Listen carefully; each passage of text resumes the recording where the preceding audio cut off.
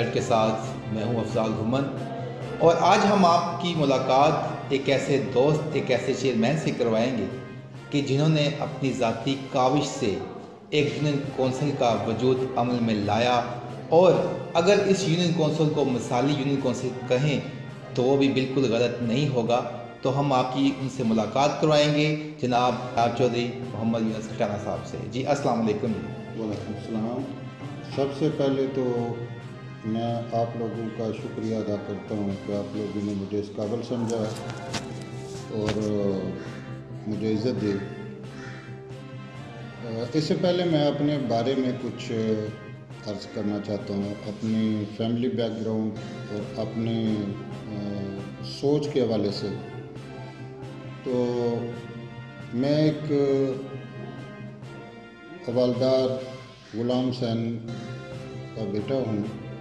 اور ایک عام گھرانے سے تعلق رکھتا ہوں۔ میرے گھرانے میں پہلے مجھ سے کوئی سیاسی آدمی نہیں ہے۔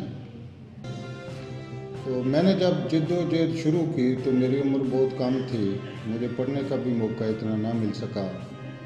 تو میں نے محنت مزدوری کی، اپنے بہن بھائیوں کو ان کو پڑھایا لکھایا، ان کے روزگار کے ذرائع جو ہیں وہ تلاش کیے، ان کو کامیاب کروایا، پھر کاروبار کی طرف گئے۔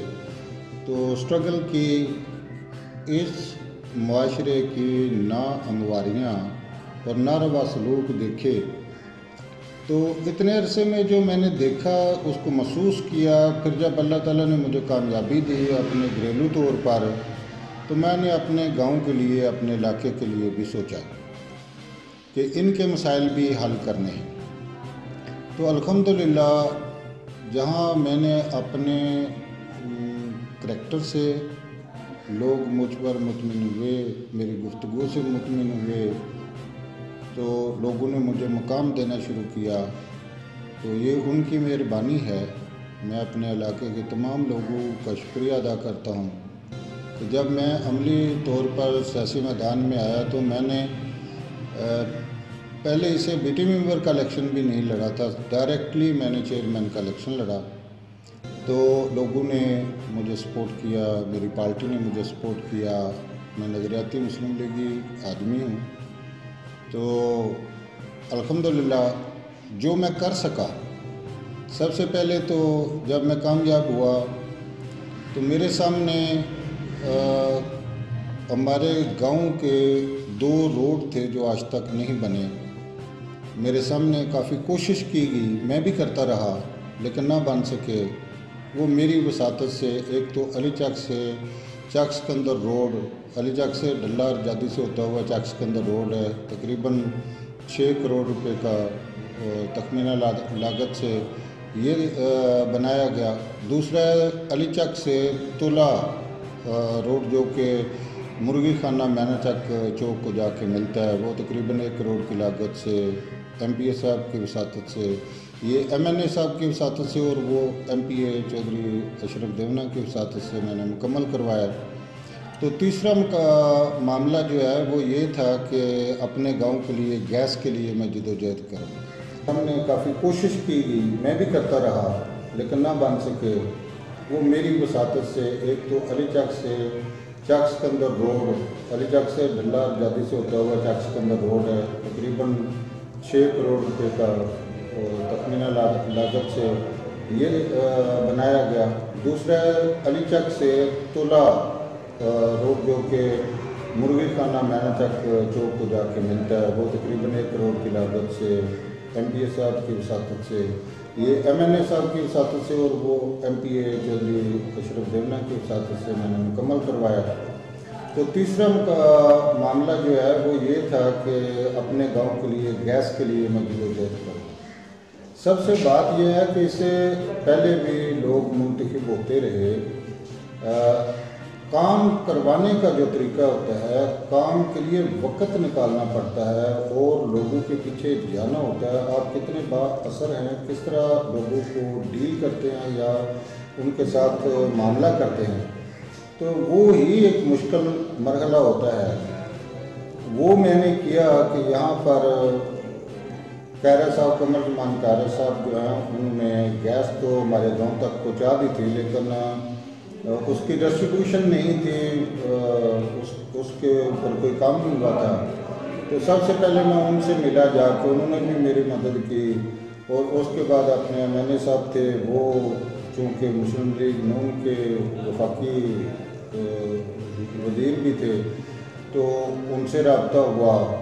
تو کوشش کرنے سے اللہ نے چاہا تو میرے ہی دور میں وہ گیس کا جو کام ہے وہ بھی کامیاب ہوا اور اس کی ڈسٹریبیوشن گلیوں میں پیک وغیرہ سب ڈالے گئے اور آج الحمدللہ میرے گاؤں کو گیس بھی مل گیا ہے۔ اس کے علاوہ میں نے دیکھا کہ ہمارے گاؤں کی جو پکی سڑک ہے، وہ کستہ حال ہے اور کافی گلیاں ایسی ہیں جو آج تک نہیں بن سکے۔ میں نے ان کو بہت اچھے طریقے سے بنوایا۔ اور آج الحمدللہ گاؤں میں تقریباً میرے گلیاں گلیاں پکی ہیں۔ ایک دو گلی ہے، پہلے بنی ہوئی تھی، لیکن اب وہ خراب ہو چکی ہے۔ انشاءاللہ اس کے لیے بھی میں نے ڈیمانڈ دی ہوئی ہے۔ وہ جلدی پائے تکمیل تک پہنچے گی۔ اس کے بعد میں نے دیکھا کہ میرے گاؤں میں پرائمری اسکول ہے، جبکہ گاؤں کی آبادی تقریباً ستائیس سو ہے۔ اور اسے گاؤں میں کوئی پرائمری اسکول نہیں ہے، بچوں کا ایک پرائمری اسکول ہے۔ وہ بھی مسجد سکول ہے۔ باقاعدہ سکول نہیں ہے۔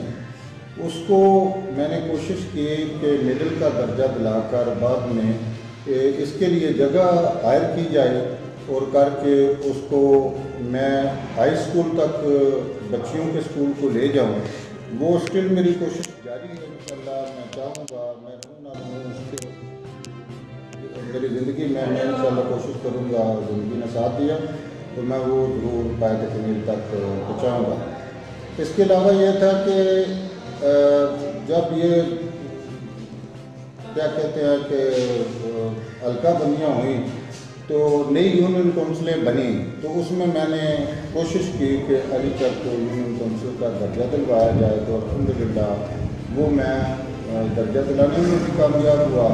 پھر یہ اس یونین کونسل کا پہلا چیئرمین بھی میں ہوں، الحمدللہ، بنا ہوں۔ اور اس کے بعد یہ ہے کہ یہاں اس گاؤں کے جو میرے کٹی کا بھائی ہیں، حاجی محمد صاحب انہوں نے دس مرلے زمین جو ہے، وہ روڈ برلے روڈ، تقریباً دو لاکھ روپے مرلے والی زمین ہے دس مرلے زمین لی اور وہ ہم نے جن مقصد کو دی۔ پھر ہم نے میرا چچا داد ہے چودھری محمد ارشد کھٹانا صاحب، جو کہ مجھے سپورٹ کرتے ہیں، امریکہ میں ہوتے ہیں میرے جتنے الیکشن کے اخراجات ہیں، وہ اٹھاتے ہیں اور وہی مجھے سپورٹ کرتے ہیں۔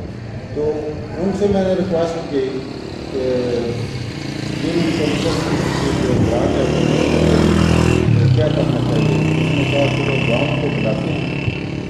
جتنی فنڈنگ ہو جائے ہو جائے، جتنی کم ہوگی، وہ میں پوری کر دوں گا۔ تو میں نے گاؤں کو بلایا اور ان کے آگے بات رکھی۔ تو تقریباً ساڑھے چھ لاکھ روپیہ جو فنڈ ہے وہ اکٹھا ہوا تو جب ہم نے دفتر بنایا تو اس پر جو لاگت آئی وہ ساڑھے ستائیس لاکھ روپیہ تھی تو میں نے جو ساڑھے بائیس لاکھ روپے جو ہیں وہ میرے چچا زاد بھائی جو جو بھی محمد کھٹانا صاحب ہیں انہوں نے ادا کی اور آج الحمدللہ ایک بہترین دفتر آپ کے سامنے ہے آپ دیکھ سکتے ہیں اس کو اس کو بھی اس کی تصاویر بھی ضرورت ہوگی تو آج تک تو میں یہ کرنے میں کامیاب ہوا ہوں اور الحمد للہ اپنے گھر والوں کے ساتھ ساتھ میں نے اپنے گاؤں کو بھی سپورٹ کیا ہے اور میں اپنے علاقے کو بھی سپورٹ کر رہا ہوں۔ جی، یہ ماشاء اللہ بہت زبردست۔ اور مزید آپ سے پوچھنا چاہوں گا جیسا کہ ہم نے اکثر کونسل کا بھی وزٹ کیا، وہاں پہ اکثر چیئر مین جو ہیں، وہ خاص طور پہ اپنی کونسل پہ توجہ نہیں دیتے۔ وہ صرف اس لیے کہ پتہ نہیں اگلے سال یا اگلے الیکشن میں ہم کامیاب ہوتے ہیں یا نہیں۔ تو ہمیں اس یونین کونسل کا کیا بینیفٹ اسی لیے وہ اپنے ذاتی سورس اپنے ذاتی استعمال میں لاتے ہیں یا کچھ اور ٹرک کے کاموں میں ڈال دیتے ہیں۔ لیکن آپ نے کے